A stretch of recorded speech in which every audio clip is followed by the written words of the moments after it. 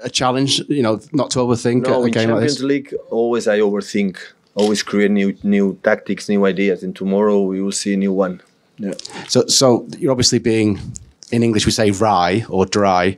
You, you think that's an unfair criticism of you then that you can sometimes overthink in this competition? I overthink a lot. And is that fair? Absolutely.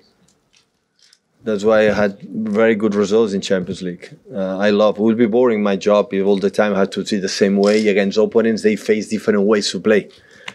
So if the people can believe I'm going to approach to play the same way Atletico Madrid and Liverpool, that's why I love to overthink and create stupid tactics again.